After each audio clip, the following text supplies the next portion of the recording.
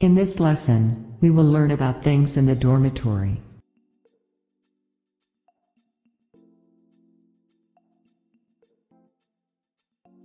Common words at dormitory. Bed.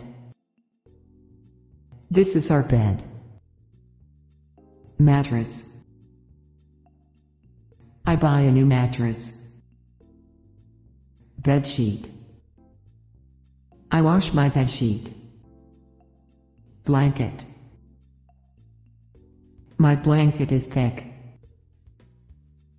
Cupboard. This cupboard is small. Pillow. Sari borrows my pillow. Bolster. His bolster is dirty. Pillowcase. My pillowcase smells good. Fan. My fan is broken. Clothes hamper. I have a clothes hamper. Needle. Sita lost her needle. Mirror.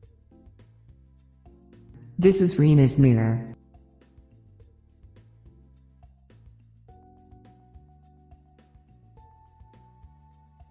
Comb. She uses my comb. Rubbish bin.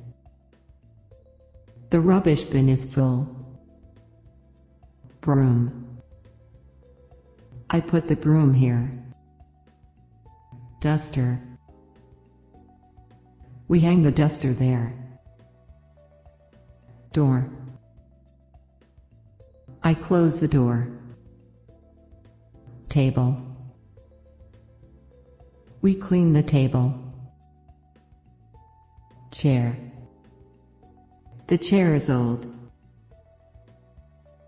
Iron. I bring my iron from home.